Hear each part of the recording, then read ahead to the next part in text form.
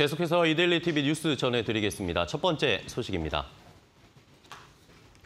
한국거래소와 경쟁할 국내 최대 대체거래소 설립이 초일기에 들어갔습니다.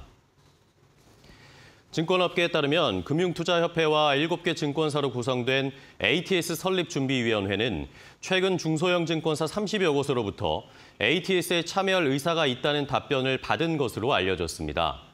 시장에서는 대체거래소가 설립되면 거래소 간 경쟁을 통해 거래 시간 연장과 거래 비용 감소, 새로운 호가 방식 등 다양한 매매 체결 서비스가 등장해 투자자의 편의를 높일 수 있을 것으로 내다보고 있습니다.